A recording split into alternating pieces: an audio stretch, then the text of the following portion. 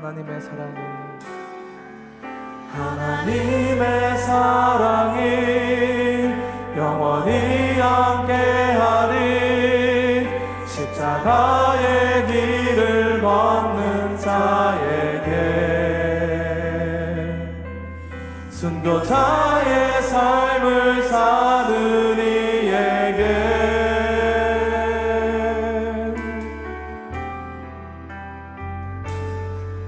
조롱하는 소리와 세상 유혹 소리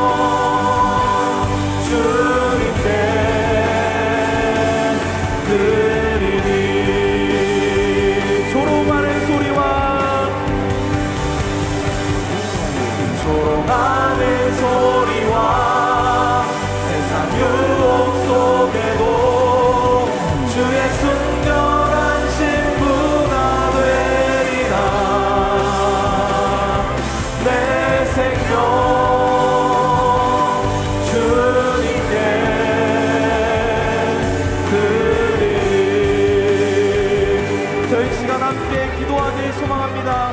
지금 저희가 함께 찬양한 이 고백처럼 저희의 생명을 주님께 드리길 소원합니다. 저희 주여 삼창하시고 통성으로